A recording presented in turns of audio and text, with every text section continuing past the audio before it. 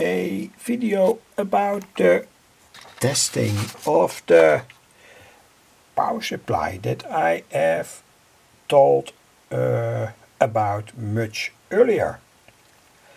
And uh, in the earlier videos I used my say standard power supply but now I'm going to use the transformer that will be really in charge.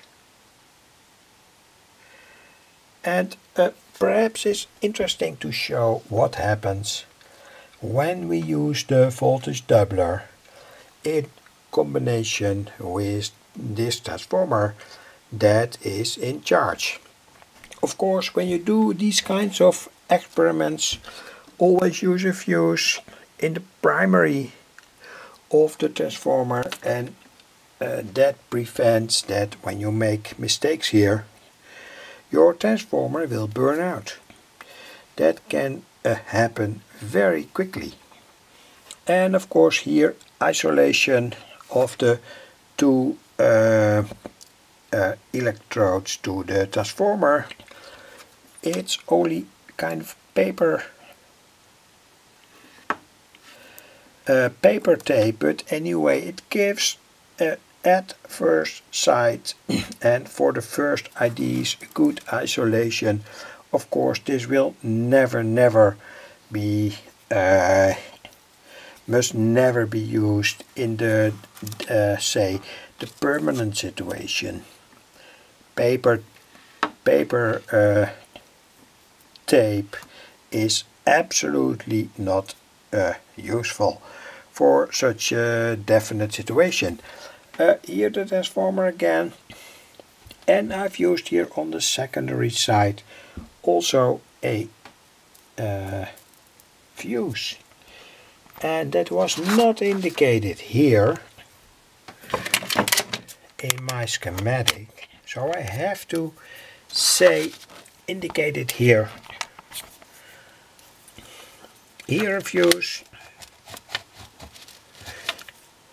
And here the fuse that I already showed.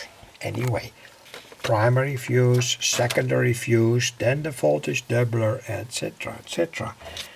And uh, like I told, this will be the transformer that will be uh, used in practice.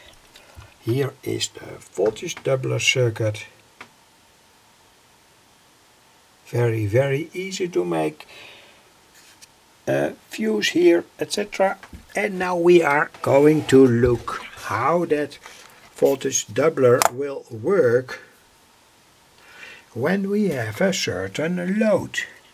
It's a DC load because uh, we use here uh, four incandescent lamps each of 21 watts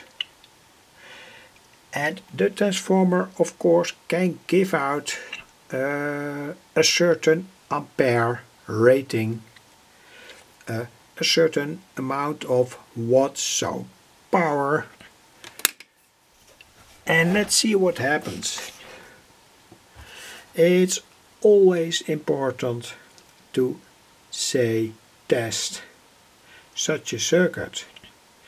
And then I mean uh, on the longer term or on the shorter term that uh, depends on the way you want to use an, a kind of electronic circuit. But of course when we are talking about power supplies they must be able to handle current and voltage on the very long term.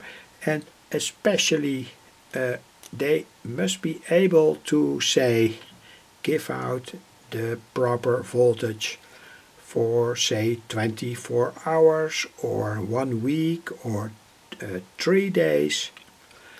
Uh, that gives say a kind of good indication about the properties of a transformer. And you can test it.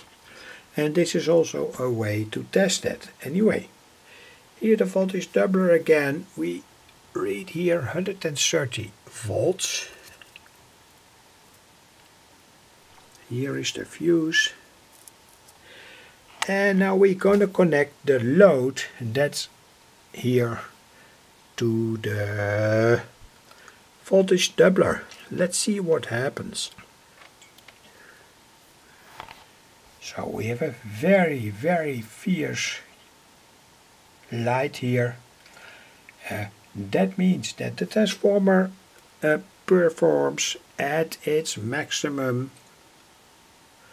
And of course I can say uh, let this situation be for one hour or two hours. But of course you always know uh, about the transformer in a certain way how much energy it can give out. So perhaps it's not a, a good idea to, uh, well, it indeed was not a good idea to uh, connect this load to the transformer. I'm more or less sure the fuse burned out, but anyway, let's try. I'm going, say,